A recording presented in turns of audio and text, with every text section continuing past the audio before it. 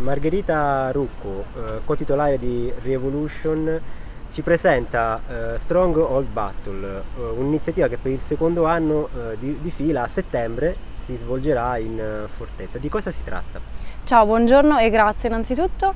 Allora, Strong Battle è una gara di CrossFit, quindi mm, una gara che, come hai detto correttamente, è il secondo anno che proponiamo qui a Siena, in Fortezza Medicea. Grazie all'assessorato che ci sostiene e al Comune di Siena abbiamo organizzato questo evento che si articolerà su due giorni, il 9 e 10 settembre 2023.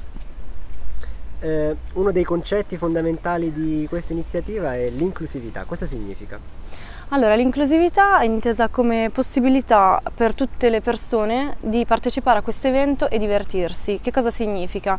Un evento competitivo dove anche i beginner, quindi persone che si sono avvicinate a questo sport da poco tempo avranno la possibilità di calcare un floor di gara di tutto rispetto in una location che insomma potete vedere quanto è d'impatto e eh, divertirsi. Quindi ci saranno diverse categorie, ci saranno beginner, ci, saranno, eh, ci sarà la categoria intermediate, RX che sono persone che hanno carichi molto alti e skill molto evolute e infine i master 80 che sono persone due persone insieme che superano gli 80 anni di vita perché sarà una gara a team di due. Quindi diamo la possibilità anche a persone di 40 anni o comunque che si tengono in forma di partecipare a questa bella competizione ecco. quindi ci tenevo e grazie per la domanda a sottolineare appunto questo aspetto. Tutti possono finalmente divertirsi e essere agonisti in un palcoscenico appunto di tutto rispetto L'iniziativa cerca di coniugare lo sport al turismo, in che senso? Esatto, allora noi vogliamo creare un format molto particolare dove non solo lo sport è protagonista ma anche la cultura. Eh, vogliamo dare la possibilità a questi atleti di conoscere le bellezze di Siena, quindi accompagnarli anche attraverso la promozione di pacchetti culturali, tour anche enogastronomici, a scoprire le bellezze della Toscana e della nostra città. Ecco. Lo sport è una componente importante per la vita?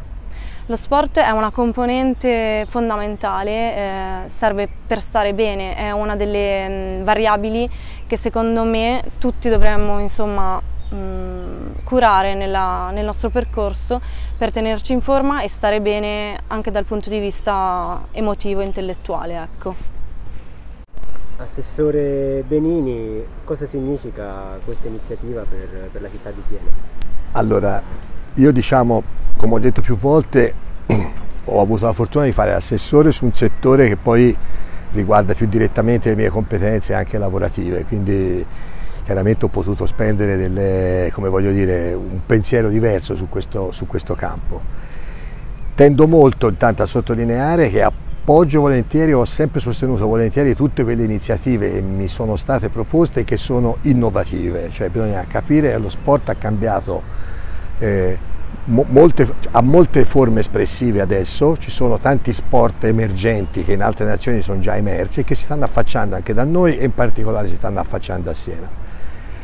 In particolare mi riferisco a tutti questi sport che sono sport di, di endurance che per il sistema in cui, per, in cui sono strutturati e, la, e per la cultura che hanno dentro puntano sia al valore del risultato assoluto, ma poi ognuno ha il suo proprio on result, cioè il suo proprio risultato all'interno della competizione è quello di migliorare la propria performance, proprio i propri record, quindi diciamo, non tanto in un valore assoluto ma per se stessi. E questa è una caratteristica molto più forte negli sport che io caratterizzo come sport di endurance dove c'è il rapporto con la fatica, con la dimensione personale, con le emozioni che giocano un ruolo importante poi nella prestazione che si può fornire, quindi c'è la novità e quindi la necessità di innovare, c'è un tipo di cultura che a me piace molto di più rispetto ad altri sport che la potrebbero acquisire.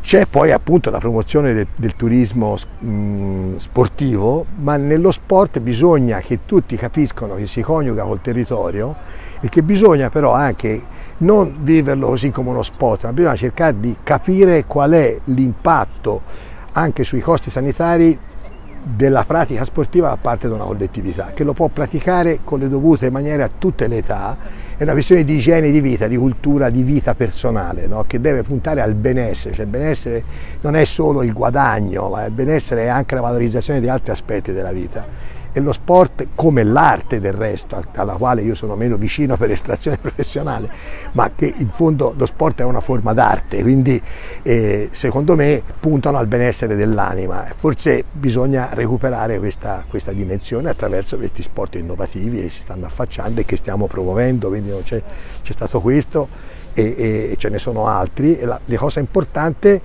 è che Margherita l'anno scorso ha portato questa iniziativa dove c'era un certo numero di persone, c'è la tenacia di chi li porta avanti e l'anno successivo mi presenta probabilmente uno stesso scenario con il quadruplo o il quintuplo degli atleti che c'erano l'anno scorso, perché è ovvio che le iniziative sportive non devono essere one shot, ma devono essere qualcosa che nasce e poi viene sviluppato nel tempo e si sviluppa nel tempo lo fanno solo le persone che ci credono nelle cose che fanno, se no gli altri non hanno quel tipo di costanza.